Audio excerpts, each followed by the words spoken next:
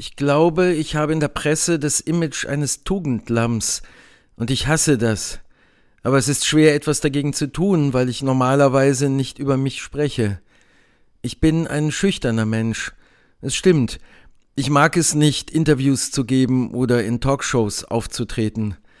Als Doubleday mit der Idee zu diesem Buch hier an mich herantrat, sagte ich zu, weil ich so die Möglichkeit bekam, mit eigenen Worten in einem eigenen Buch über all das zu sprechen, was mich bewegt. Ich hoffe, es wird helfen, einige falsche Vorstellungen auszuräumen. Jeder Mensch hat viele Seiten, und ich bin nicht anders.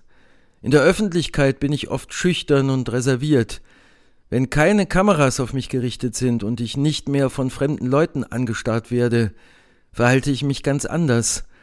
Meine Freunde, meine Kollegen wissen, dass es einen anderen Michael gibt, der sich in der Öffentlichkeit nicht hervorwagt. Auf der Bühne ist es was anderes. Wenn ich auftrete, verliere ich mich. Ich beherrsche die Bühne. Ich denke an nichts anderes mehr. Ich weiß, was ich vom ersten Moment an tun muss, und ich liebe jede Minute, die ich auf der Bühne bin. Ich bin dann entspannt, völlig entspannt. Es ist schön. Auch im Studio bin ich ganz locker. Ich weiß, ob sich etwas richtig anfühlt oder nicht. Wenn nicht, weiß ich, was zu tun ist. Alles muss stimmen, und wenn das der Fall ist, fühlt man sich gut erfüllt. Die Leute haben meine Fähigkeiten als Songschreiber oft unterschätzt. Sie sahen in mir keinen Songschreiber, und als ich dann mit Songs herauskam, sahen sie sich an, als wollten sie sagen, wer hat das wirklich geschrieben? Ich weiß nicht, was sie gedacht haben, dass ich vielleicht jemanden in der Garage sitzen hätte, der sie für mich schrieb? Aber die Zeit räumte mit diesen falschen Vorstellungen auf. Man muss sich den Leuten gegenüber immer beweisen und viele wollen es einfach nicht glauben. Ich habe gehört, dass Walt Disney am Anfang seiner Karriere von Studio zu Studio ging und ohne Erfolg versuchte, seine Arbeiten zu verkaufen. Als man ihm schließlich eine Chance gab, hielten ihn alle für das größte Genie aller Zeiten. Manchmal macht es einen stärker und entschlossener, wenn man ungerecht behandelt wird. Sklaverei war etwas Schreckliches, aber als die Schwarzen in Amerika diese Tyrannei schließlich abwarfen, waren sie stark. Sie wussten, was es bedeutete, von anderen Menschen unterdrückt zu werden. Sie waren entschlossen, so etwas nie wieder zuzulassen. Ich bewundere diese Art Stärke. Menschen, die sie besitzen, kämpfen mit jeder Faser ihres Herzens für das, woran sie glauben. Ich werde oft gefragt, wie ich bin, ich hoffe, dieses Buch beantwortet einige dieser Fragen, aber vielleicht helfen auch folgende Dinge.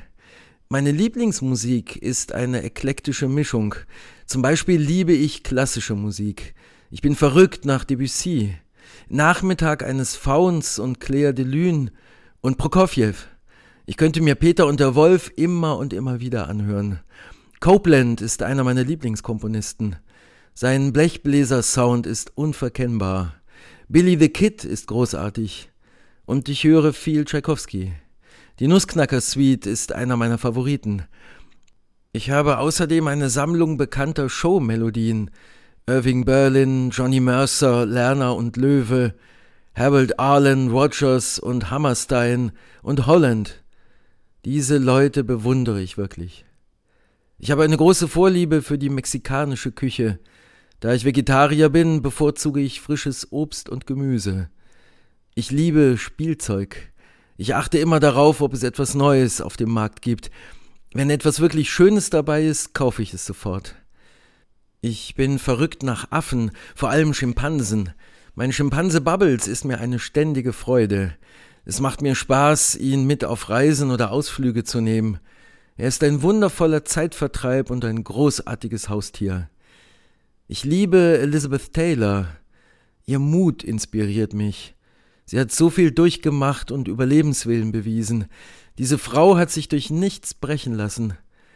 Ich identifiziere mich wegen unserer gemeinsamen Erfahrungen als Kinderstars sehr stark mit ihr. Als wir zum ersten Mal miteinander telefonierten, sagte sie mir, sie habe das Gefühl, mich schon seit Jahren zu kennen. Mir erging es genauso. Catherine Hepburn ist auch eine gute Freundin von mir. Ich hatte ein wenig Angst bei unserer ersten Begegnung. Ich traf sie, als ich zu Gast bei Jane Fonda war. Sie lud mich für den nächsten Abend zum Essen ein. Ich war sehr glücklich. Seitdem haben wir uns oft gegenseitig besucht und stehen uns immer noch sehr nahe. Man erinnere sich, dass es Catherine Hepburn war, die mich dazu gebracht hat, bei der Verleihung der Grammy Awards die Sonnenbrille abzunehmen. Sie hat großen Einfluss auf mich. Sie ist ebenfalls eine starke Persönlichkeit und sehr auf ihr Privatleben bedacht. Ich glaube, Künstler sollten versuchen, stark zu sein, um ihrem Publikum ein Beispiel zu geben. Es ist atemberaubend, was man erreichen kann, wenn man es nur versucht. Wenn man unter Druck steht, sollte man den Druck umkehren und ihn für seine eigenen Ziele nutzen. Künstler schulden es den Leuten, stark und gerecht zu sein. In der Vergangenheit sind Künstler oft tragische Gestalten gewesen. Viele der wirklich großen Künstler haben unter diesem Druck und an Drogen vor allem Alkoholsucht gelitten oder sind daran gestorben. Es ist so traurig. Als Fan fühlt man sich um ihre weitere Entwicklung betrogen. Man fragt sich unwillkürlich, was Marilyn Monroe oder Jimi Hendrix in den 80ern an künstlerischen Leistungen vollbracht hätten. Viele Berühmtheiten sagen, sie wollen nicht, dass ihre Kinder ins Showgeschäft gehen. Ich kann ihre Gefühle verstehen, aber ich bin anderer Ansicht wenn ich einen Sohn oder eine Tochter hätte, würde ich sagen, natürlich, sei mein Gast, tritt ruhig ein. Wenn du's tun willst, dann tu's. Für mich gibt es nichts Wichtigeres, als die Menschen glücklich zu machen, sie von ihren Problemen und Sorgen abzulenken, ihnen zu helfen, ihre Last zu erleichtern. Wenn Sie einen Auftritt von mir gesehen haben, möchte ich, dass Sie sagen, das war großartig, ich will es noch einmal sehen, ich habe ein paar schöne Stunden verbracht. Für mich ist das alles, was zählt. Es ist ein wundervolles Gefühl. Deshalb verstehe ich auch nicht, dass andere Berühmtheiten sagen, sie wollen nicht, dass ihre Kinder ins Showgeschäft gehen. Ich glaube, sie sagen das, weil man ihnen dort wehgetan hat. Ich kenne das Showgeschäft. Man möchte von der Wahrheit berührt werden und diese Wahrheit deuten können, so dass man das, was man fühlt und erlebt, ob nun Verzweiflung oder Freude, nutzen kann, um dem eigenen Leben und hoffentlich auch dem anderer Menschen einen Sinn zu geben. Dies ist die Kunst in ihrer höchsten Form. Für diese Momente der Erleuchtung will ich jetzt und in Zukunft leben.